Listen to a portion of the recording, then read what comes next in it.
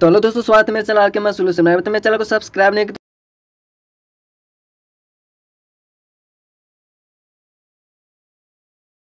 कीजिएगा, क्योंकि आपके लाइक और कमेंट से हमें मोटिवेशन मिलता है।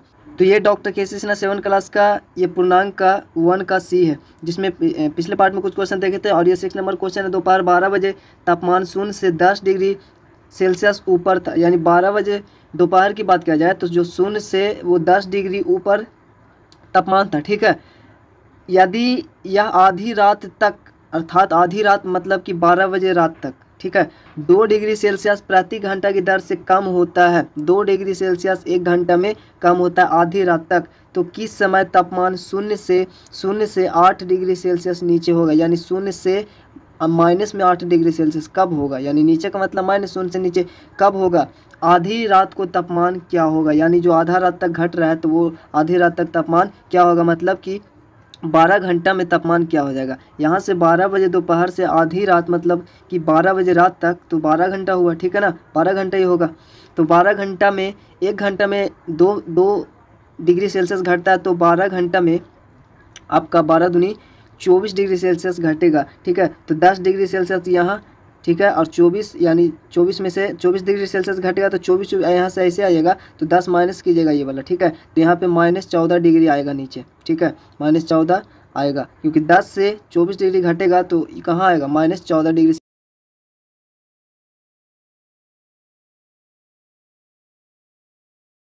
क्योंकि एक घंटा में दो दो डिग्री सेल्सियस तापमान घटता कम होता है। इसीलिए दोपहर बारह बजे से आधी रात तक, अर्थात मतलब कि 12 घंटा में तापमान में हुई कमी, यानी एक घंटा में दो डिग्री सेल्सियस तो 12 घंटा में बारह दूनी चौबीस डिग्री सेल्सियस होगा। यानी इतना डिग्री सेल्सियस कम गया तो इसीलिए आधी रात में तापमान बराबर 10 डिग्री सेल्सियस माइनस चौबीस डिग्री सेल्सियस, अर्थात माइनस चौदह डिग्री सेल्सियस ये आंसर होगा। ठीक है अब पूछ रहा है कि माइनस यानी आठ डिग्री सेल्सियस कब होगा? शून्य से नीचे आठ डिग्री सेल्सियस कब होगा?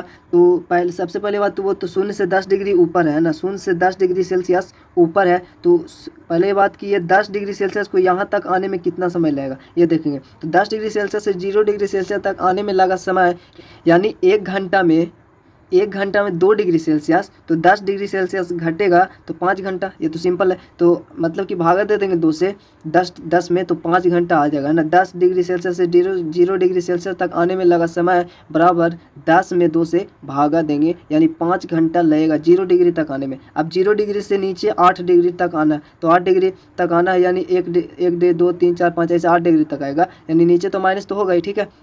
नीचे। तो अब माइनस आठ डिग्री तो में कितना समय लगा? यहाँ पे लगा पाँच घंटा इतना आने में, ज़ीरो तक। पाँच घंटा और नीचे आने में कितना लगेगा? दो, एक डिग्री, दो डिग्री में एक घंटा तो दो, चार, छः, आठ, यानी एक, दो, तीन, चार घंटे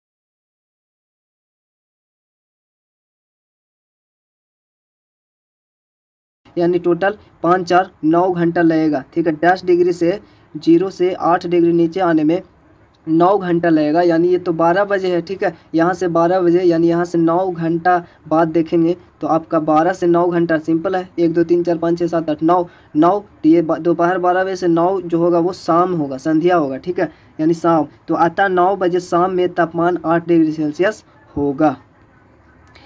सेवन नंबर क्वेश्चन है, कोई दुकानदार सेवन नंबर क्वेश्चन है कोई दुकानदार एक पेन बेचने पर एक रुपया का लाभ होता है, ठीक है? पेन बेचने पर एक रुपया का लाभ हुआ, अर्जित करती है और अपने पुराने स्टॉक की पेंसिलों को बेचने, बेचते हुए चालीस पैसे प्रति पेंसिल यानी एक पेंसिल पर हानि उठाता है। तो पहला नंबर है कि किसी विशिष्ट महीने में उसने पाँच रुपये की हानि उठाया।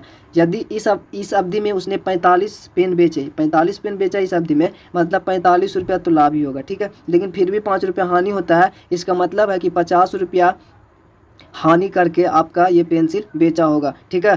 तो इसके द्वारा हम पेंसिलों की संख्या निकालेंगे। नीचे देखते हैं। सोल्व करेंगे इसको तो एक पेन बेचने पर एक रुपया लाभ होता है, चूँकि तो पुराने पेंसिल पर चालीस पैसे हानि उठाता है, ठीक है ना? चूँकि एक पेंसिल बेचने पर एक रुपये का लाभ हुआ और पुराने पेंसिल पर चालीस पैसे का लाभ उठाता है एक पेंसिल। तो इसीलिए दुकानदार पैंतालीस पेन बेचता है, ठीक है?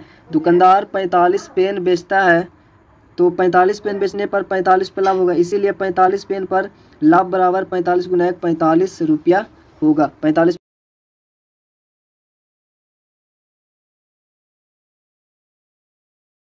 वो हानि उठाता है और पाँच रुपया हानि मतलब कि पाँच रुपया हानि हुआ, पैंतालीस रुपया यहाँ लाभ हुआ, फिर भी पाँच रुपया हानि होता है। मतलब कि पचास रुपया पेंसिल पर हानि हुआ होगा। तो यानी पचास रुपया इतना मतलब वो पेंसिल बेचा होगा, इतना पेंसिल बेचा होगा कि पचास रुपया पेंसिल पर हानि हुआ होगा। तो पचास रुपये पर हानि हुआ होगा पेंसिल पर तो इसीलिए बेची गई पेंसिलों की संख्या, यानी पचास रुपया, एक पेंसिल पर चालीस पैसा होता है, यानी इसको भी पैसे में बदल देंगे, यानी पचास गुना सौ, यानी ये पचास सौ, यानी पाँच हज़ार पैसा, ये इतना पैसा का पेंसिल बेचा तो एक पेंसिल, पेंसिलों की संख्या निकालने के लिए एक पेंसिल इतना मतलब कि उसको हानि हुआ होगा।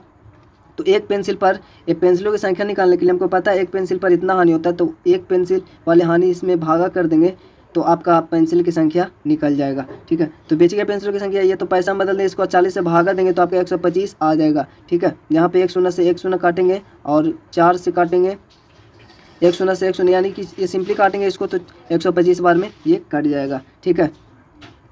तो अतः उसने एक सौ पच्चीस पेंसिल बेची, इसको काटना है कैसे? चालीस से एक शून्य एक शून्य, फिर दस और पाँच में भागा, पचास में भागा देंगे तो पाँच सौ होगा, पाँच सौ में आप चार से भागा दीजिएगा तो चार का चार चार दुनिया आठ, बारह सौ अड़तालीस तो हो गए, ठीक है? बारह सौ अड़तालीस बाकी में दो एक ज़ीरो बीस होगा तो चार पच्चीस बीस, एक सौ पच्चीस आ जाएगा। और इसी का दूसरा है, अगले महीने में उसने ना तो लाभ हुआ और ना ही हानि हुआ। यदि इस महीने में उसने सत्तर पेन बेचे तो उसे, उसने कितनी पेंसिलों, पेंसिलें बेची? ना तो लाभ हुआ, ना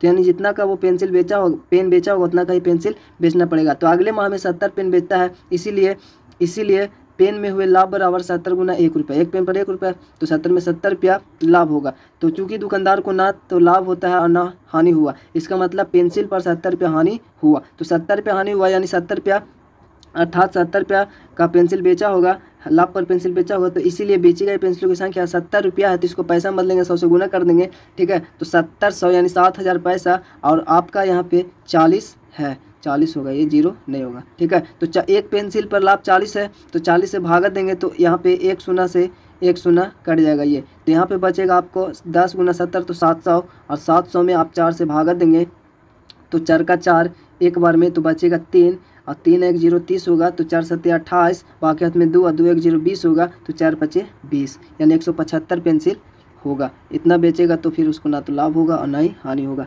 आठवां नंबर, एक अच्छा टेस्ट में प्रत्येक सही उत्तर के लिए तीन अंक दिया जाता है प्लस में और प्रत्येक गलत के लिए उसको माइनस दो अंक दिया जाता है, अर्थात दो अंक काट लिया जाता है और किसी प्रश्न को हल करने का प्रयत्न नहीं किया तो कोई अंक नहीं दिया जाता है। तो पहला राधिका ने बीस अंक प्राप्त किया, ठीक है? बीस अंक प्राप्त किया और यदि उसने बारह उत्तर सही दिया तो बारह उत्तर सही दिया मतलब छत्तीस अंक प्राप्त होगा। तो छत्तीस में बीस ही मिला, इसका मतलब सोलह अंक काट लिया गया। और सोलह अंक काट लिया गया मतलब कि एक अंक मतलब कि एक प्रश्न में दो अंक, यानी सोलह अंक काटा, यानी दो अठी सोलह, आठ प्रश्न होगा, सिंपली। ठीक है? तो यहाँ पे लिख कर सोल्व करेंगे तो प्रत्येक सही उत्तर पर प्लस तीन अंक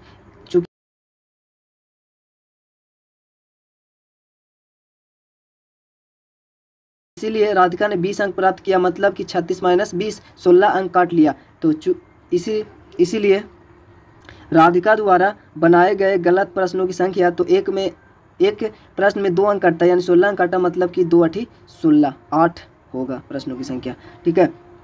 और इसका आप दूसरा नंबर क्वेश्चन देखते हैं।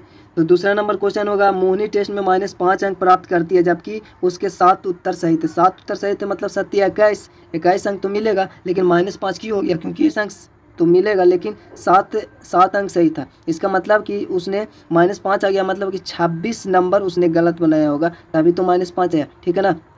इक्कीस तो आपका प्लस वहाँ पे मिला, लेकिन इतना माइनस होगा तो प्लस से ज़्यादा तो माइनस है, इसलिए माइनस में निगेटिव चला गया। अब छब्बीस नंबर का गलत बनाया होगा तो एक अंक पे एक गलत पे दो, ठीक है? दो निगेटिव कटता है। और यहाँ पे छब्बीस इसका निगेटिव हो गया, यानी दो से भागा देंगे तो तेरह दूनी छब्बीस आपका हो जाएगा। तेरह प्रश्नों की संख्या होगा। तो मोहनी माइनस पाँच अंक प्राप्त करती है मतलब उसने छब्बीस अंकों की प्रश्न को गलत बनाया। छब्बीस अंक गलत बनाया क्योंकि साथ ही प्रश्न का सही देता है तो उसके अंदर सत्य इक्कीस अंक मिला। और इक्कीस में माइनस माइनस पाँच और निगेटिव कैसे चला गया, इसका मतलब छब्बीस अंक का उसने गलत बनाया होगा। ठीक है, जितना का सही बनाया है, उससे भी ज़्यादा वो गलत बनाया होगा। तो इसीलिए मोहनी द्वारा गलत प्रश्नों की संख्या बराबर, यानी जो छब्बीस अंक निगेटिव मिला, उसमें से निगेटिव जो दो था, वो भागा देंगे तो प्रश्नों की संख्या निकल जाएगा। तो छब्बीस में से दो भागेंगे तेरह। तो इसलिए तेरह इसका आंसर होगा। तो अगर चैनल को सब्सक्राइब नहीं तो सब्सक्राइब के लिए बेल प्रेस करते चलिए